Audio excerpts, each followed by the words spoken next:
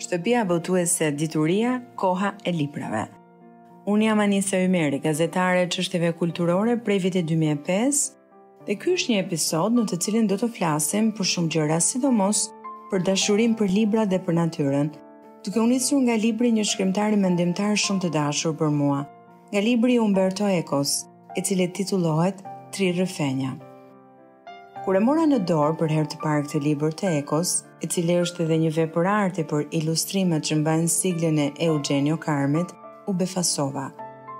Ekon e njoh mirë si shkrimtar dhe në historinë e letërsisë e medias në botë ai ka vendosur gurët e tij miliarë, por duke mos pasur informacion të mëhershëm për tri rrëfenjat, u befasova shumë për këtë vështrim kaq të thekshëm për planetin tonë, shtëpinë e të gjithëve ne. Këtë libër doemos e bën edhe më të fuqishëm bashkimi i mendjes së Ekos, një tregimtari të rrallë i cili e zotëron fjalën si pakkush, me ilustrimet e Eugenio Carmit, i cili fjalës i ka dhënë aq shumë fuqi sa libri të përpin duke e lexuar, sikurse edhe duke e parë. Unë hyj tek ata njerëz që mendojnë se librat për fëmijë dhe të rinj nuk janë vetëm për ta, sepse leximi i tyre nga ne të rriturit ka tjetër peshë. Për këtë arsye, unë jam një e rritur që lexoj shumë letërsi për fëmijë. Më së shumti, e bëj këtë përgjatë këtyre viteve të fundit, pasi jam fokusuar në punën me librin, sidomos në librin për fëmijë, dhe kam kuptuar se leximi, duke mos qenë vetëm një akt vetmitar, pra vetëm lexuesi dhe libri asgjë tjetër arrin të ndikojë shumë fort. Sidomos kur bëhet fjalë për fëmijët. Kur lexon me fëmijët dhe për fëmijët, jo vetëm në fazën e hershme të jetës kur ata ende nuk kanë mësuar të lexojnë, por edhe më vonë, është diçka e jashtëzakonshme. Sepse ky nuk është thjesht dhe vetëm një lexim, por është një komunikim i madh me këta fëmijë, momente prej të cilave nga leximi lindin dhe zhvillohen botë të reja, një sërë pyetjesh dhe përgjigjesh. E dini se çfarë përshtypje u ka bërë leximi i tri rrëfenjave fëmijëve të Qendrës së Edukimit, Kulturës dhe Librit për Fëmijë? Pyetje që nuk reshtnin. Lexim që nuk donin të ndalej. Imazhe të cilat jo vetëm u përpinë, por edhe u riprodhuan disa herë nga disa fëmijë. Gjatë asaj jave kur ne lexuam tri rrëfenjat e Ekos, fëmijët ishin jo thjesht më të ndjeshëm ndaj mjedisit që na rrethon, por arrinin Edhe të mbanin mend fraza nga libri. Madje një prej frazave të librit u shndërrua në një refren të ditës. E dini se cila është?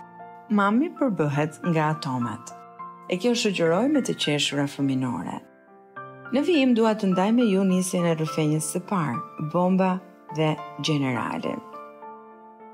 Tani, ju duhet ta dini se bota është gjithashtu plot me gjeneralë që shtyjnë kohën duke mbledhur bomba. Kështu gjenerali ynë mbushte papafingon e vet me bomba. Kur të kem shumë, thoshte ai, do të nis një luftë të bukur fort dhe qeshte. Përditë, gjenerali hipte në papafingo dhe shpinte nga një bombë të sapoardhur. Kur të kem shumë, thoshte ai, do të nis një luftë të bukur fort. A është e mundur të mos bëhesh i lig kur ke gjithë ato bomba ndër duar? Atomet e kyçura në bomba ishin shumë të mërzitura. Për shkak të tyre do të ndodhte një gjëmë e stërmadhe, do të vdisnin shumë fëmijë, shumë mama, shumë kotele, shumë dhi të vogla, shumë zogj të vegjël, të gjithë me pak fjalë. Do të zhdukeshin vende të tëra nga faqja e dheut.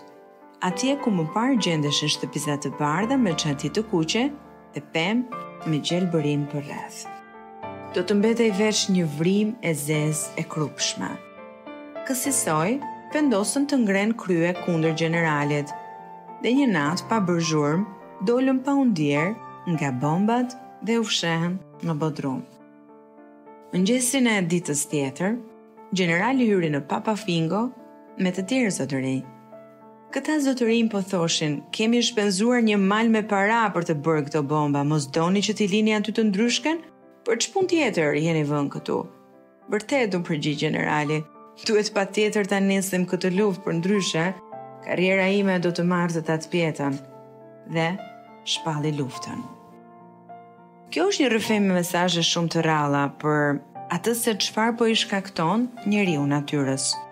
Një luftë e paepur e cila në ditët tona është bërë një luftë shumë e ashpër ose mbase kështu ka qenë përherë, por ne e ndjejmë më fort tani pasi resurset natyrore po mpaken, ndërsa njerëzit jo thjesht i shfrytëzojnë ato, por i keqpërdorin, duke e varfëruar atë që na rrethon, pa e kuptuar se kështu varfërohemi në çdo dimension tonin. Në vijim do të flasim për një rrëfenjë të dytë, e cila mban titullin Tre kozmonautët dhe unë do ta nis me leximin e hyrjes së rrëfenjës, e cila fillon kështu. Na ish një herë planeti Tokë dhe na ish një herë planeti Mars. Rrinin shumë larg njëri-tjetrit në mes të qiellit, e përreth kishin miliona planetë dhe galaktika. Njerëzit që jetonin në tokë donin të mbërrinin Marsin dhe planetet e tjerë, ama gjendeshin kaq larg. Gjithsesi u futën punës, fillimisht lëshuan satelitë që rrotulloheshin rreth Tokës për dy ditë dhe pastaj ktheheshin sërish.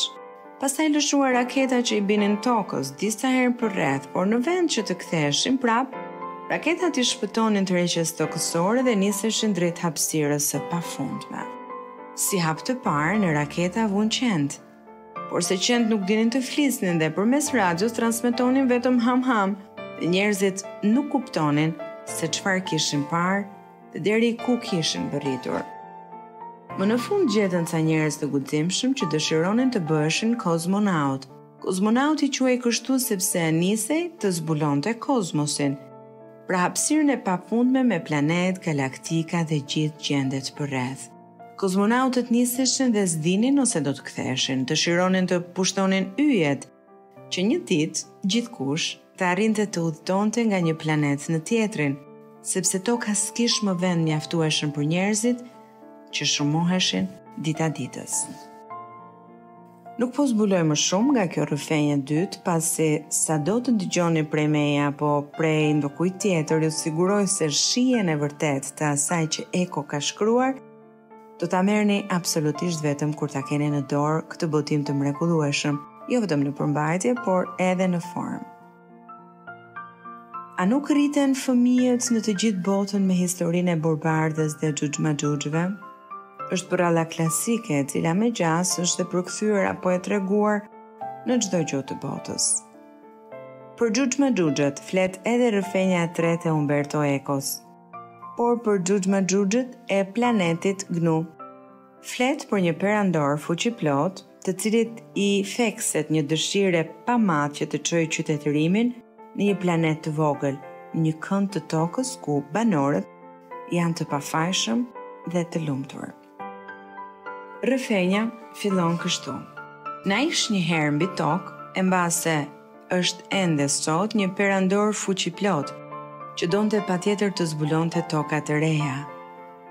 E ç'perandor jam vallë ulërinte nëse anijet e mia nuk zbulojnë kurrë ndonjë kontinent të ri, të pasur me ar, argjend dhe kullota me bollëk, një tokë ku unë mund të shpjer qytetërimin tonë?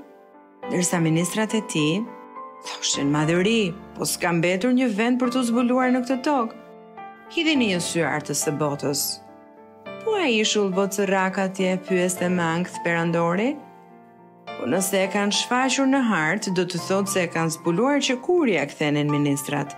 E ndoshta kanë ndërtuar atje ndonjë fshat turistik.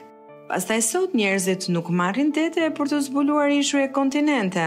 Sot vizitojnë galaktikat me anije kozmike. Dhe pastaj, u gjegj me kokëfortësi perandori, Dërgoni një zbulues galaktik që të zbulojë të paktën një planetuc të banuar. Hmm. Ajo çfarë do të lexoni në faqet e këtij libri dhe të kësaj rrëfenje me siguri do t'ju mbetet shumë gjatë në mendje. Unë po zgjedh të shkoj në faqen e parafundit të rrëfenjës dhe t'ju ngacmoj sadopak për ta marrë librin në dorë, dhe ta lexoni atë nga fillimi deri në fund. Unë adhuroj shfletimin e librave, prandaj ja ku jemi. Dhe ndërsa fliste, kryeministri rrëshqiti mbi një çamçakëz, që një tjetër ministër kishte pështyr për tokë. Theu këmbët, vrau buzën, mjekrën, dy vrimat e hundës, shpatullën, kokën dhe i mbetën gishtat të ngatërruar në vesh aq sa nuk ia shqisnin dot. Në rrëmujën që pasoi, ministrin e flakën në trotuar atje mes koshave të plehrave që kurrkush s'i pastronte prej kush e di sa kohësh, e mbeti atje i mbuluar nga smogu, duke thithur tymrat që dilnin nga tubat e makinave. Çfarë ndodh me xhuxhmaxhuxhët? Do të duhet ta zbuloni vetë. Ju siguroj se në vetëm 110 fletë do të merrni kënaqësi të pamatë por edhe do të reflektoni fëmijë e të rritur bashkë për planetin tonë. Në fund dua t'ju them se leximi i tri rrëfenjave do të jetë një përvojë e jashtëzakonshme, sepse ky libër i Ekos është shqipëruar nga Edon Qesari, një përkthyes klasi i cili të bën ta dashurosh edhe më shumë librin dhe leximin. Minutat kaluan shumë shpejt në këtë rrugëtim tonin me Ekon, Kjo ishte Koha e Librave, një podcast i shtëpisë botuese Dituria, në kuadrin e projektit të Europës Kreative, ndryshimi i perceptimeve përmes letërsisë. Realizuar nga unë, Anisa Ymeri, themeluese e Qendrës së Edukimit, Kulturës dhe Librit për Fëmijë në Tiranë.